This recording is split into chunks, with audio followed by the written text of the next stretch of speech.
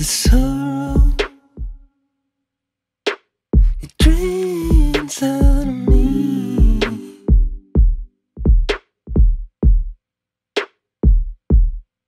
And when